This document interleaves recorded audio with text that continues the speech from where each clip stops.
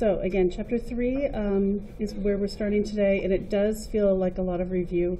The main difference I think you guys will find is we're going to be doing operations with decimals and fractions in chapter three, but it will also include decimals, or uh, negative numbers, positives and negatives.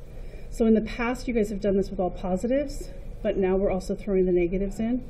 With that, some of what we're doing is review, and some of it will feel new, okay? Let's get your objective written at the top.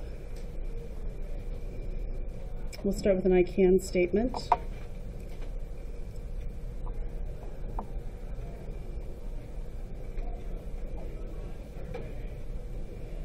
I can add and subtract decimals, comma, including integers.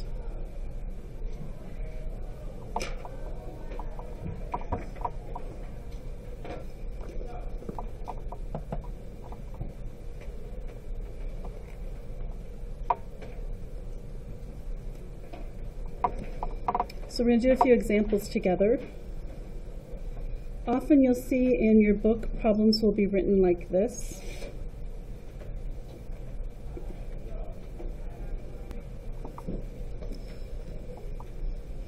I want you to think about what you know about the main rule when we're adding or subtracting decimals. The main thing we want to do is line up the decimals. So we're going to rewrite this as 14 and 73 hundredths plus 23 and 59 hundredths.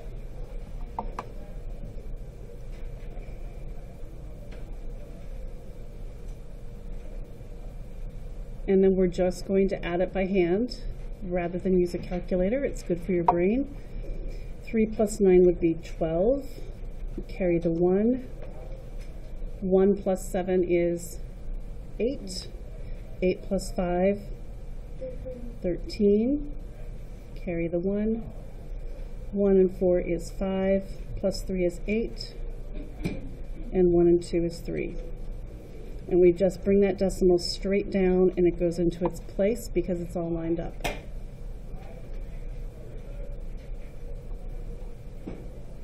You might also see problems that look like this.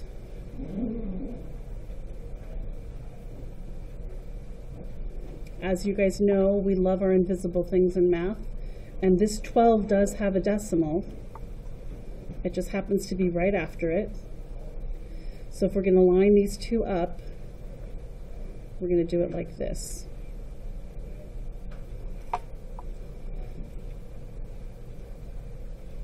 And that looks sort of funny to be adding 12 decimal plus 4.385. So we can just put zeros in to be placeholders so that that has something to be added with.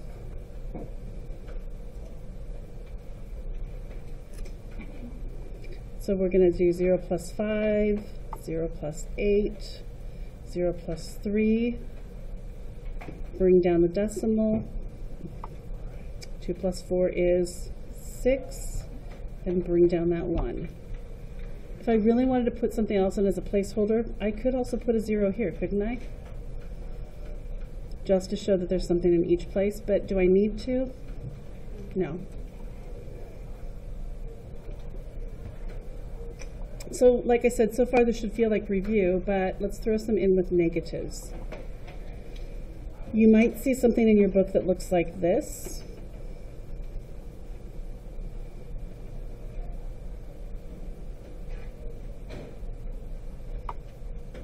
Those parentheses are just there to kind of hold that negative with it. Whenever we have a positive and a negative or two signs, we like to put parentheses just to separate them.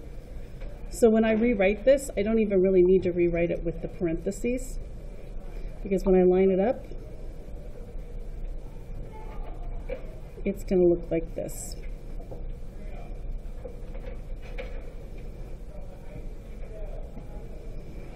And I can put a placeholder 0 here. So I get 7 plus 0 is 7. 8 plus 9 is 17 bring down my decimal. 1 plus 9 is 10, plus 8 is 18. And I have two negatives here, but when we're adding, we're just adding two negatives together, right? So this has to stay negative because I have a negative 9.87 and a negative 18.9.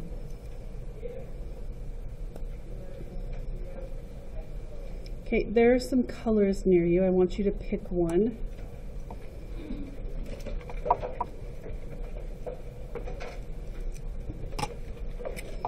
And we're going to go back and look and see if we can do some estimating to check our work.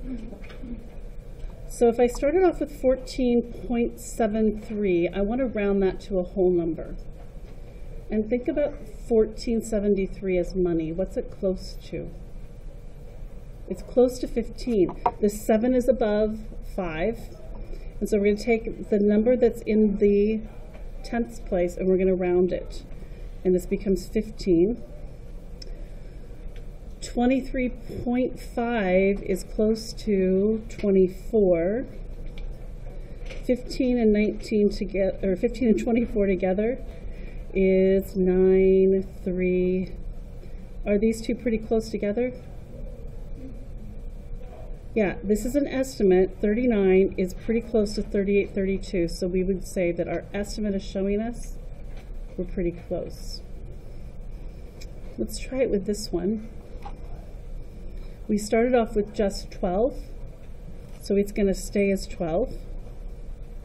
And then we had 4.385. 4.3 is what we're looking at. Are we going to round that 4 up or keep it where it is? Let's keep it where it is. 12 and 4 is 16.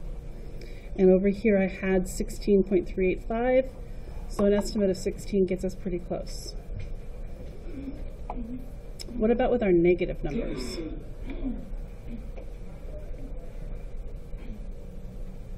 Well, 9.87 is pretty close to negative 10. And negative 18.9, we're going to look at that 9 in the tenths place, and we're going to round the 18 up to 19.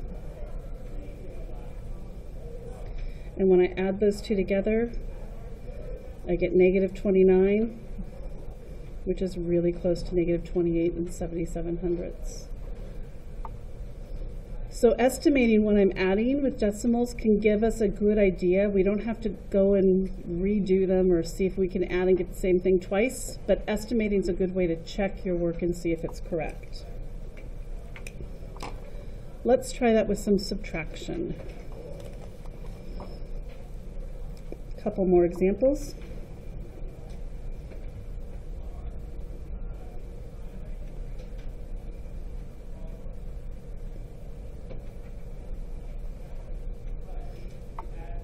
Okay. 15 and 36 hundredths minus 6 and 15 hundredths. Let's do our estimating first this time. If I'm going to round 15.3, it's going to stay where it is. Because the 3 is lower than a 5. And the same with 6.1, it's going to stay at a 6. We're not going to round it up. 15 and 6 is Oops, I forgot I was subtracting here. 15 minus 6 is 9. So we're looking to see if when I subtract this, if we're pretty close to 9. So let's start on the far right. 6 minus 5 is 1. 3 minus 1 is 2. Bring down our decimal. 5 minus 6 we need to borrow. So we're going to say it's actually just going to be the 15, isn't it? So 15 minus 6 is 9. 9 and 21 hundredths is close to 9, so our estimate is close to our solution, and we can feel pretty confident in our answer then. Last problem. You might see it like this in your book but we would just rewrite it like this.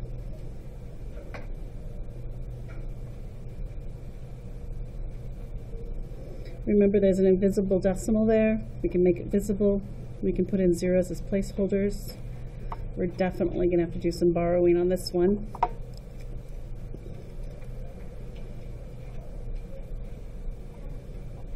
I'm going to have to go all the way over here to borrow this one and make this 10. I can borrow from this and make this 10 and this 9.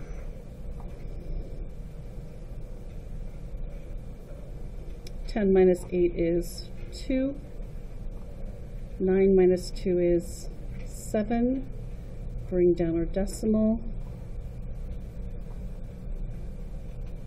I'm going to look up here. Do I have to borrow from this 2 to make this one work? Or can I just think about this as 20 minus 7? Well, 20 and 7 are 13 apart, so it's 13 and 72 hundredths.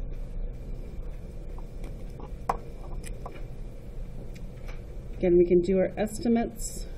21 would be 21 minus 7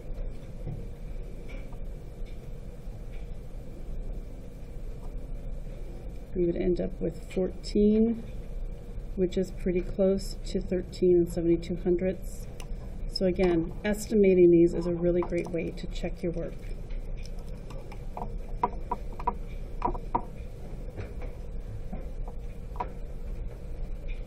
I'm going to give you guys a new contract. And when you get it, this is what you're going to write onto it. 3-2. We're going to page 150, numbers 10 through 25. And we can check that work when we're back in class again tomorrow.